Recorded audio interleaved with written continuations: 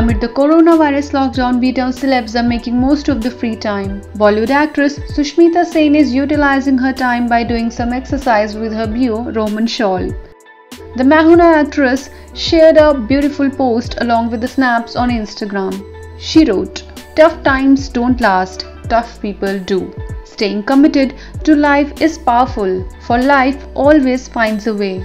We will all need to be of service at some point. It's wise to stay mentally strong and physically healthy against all odds. To be of help when life beckons.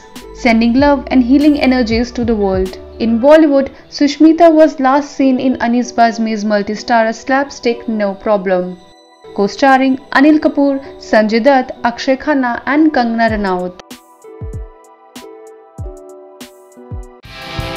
Subscribe to our channel. Just click on the bell icon for all the latest updates.